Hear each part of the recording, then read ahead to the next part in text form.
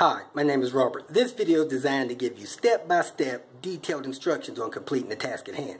Please read the comments in the About section of this video. It has valuable information and updates. My YouTube channel has a disclaimer video that I encourage you to watch. And please like, share, and subscribe. I hope you found what you're looking for. Thank you very much for watching. Next, the fuel door latch is not opening, but when I flip the switch, I hear something. So we're going to open it up, see what's going on with it. Maybe just too weak. Do do do do. Go ahead, flip the switch up there. Do it again. Yeah, I can feel it, but it's not moving. So it's twitching. So he came in here to get gas. You can see that thing right there. And it's got a pull on it. Where you can reach in there and pull it to open it. When you pull it, it releases it, it pops open a little bit. So we're going to test this other one with the wire. Plug it in here and see if it works. Go ahead do your latch on your door. This plunger should pull. All right, that one looks like it's working good. Do it one more time. You can see that. There you go. All right, so you got two screws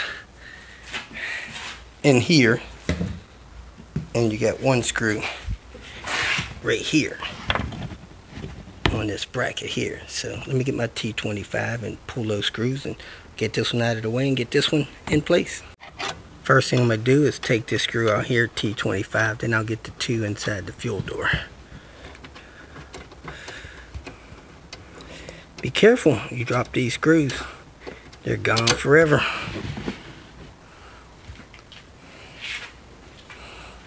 You can even use, lose that latch, it fall down there.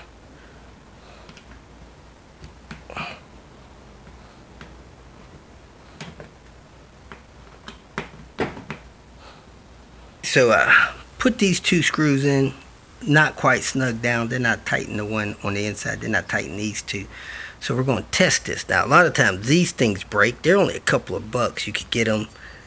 And then over here, you should have a tether that go to your cap. So sometime that breaks off, you decide whether or not you're going to get another one. But you can always hang your fuel cap there when you're fueling. Sometimes I'll throw mine up there and then I'll close the trunk on it, which is not a good thing. Mess up your trunk alignment. But anyway, we're going to go ahead and latch that in there. And he's going to go pull it, see if it pops out. And if it does, we're going to go ahead and replace the carpet in here. It popped out. We're good to go. If you feel that this information was useful, please like it and share it with your social media friends. You can subscribe to my channel so that you will get notifications of future videos that I post. You can follow me on Twitter, and if you need to contact me directly, please visit my website. And if you have any questions, leave them below, and someone or myself will reply to them. Again, thank you very much for watching.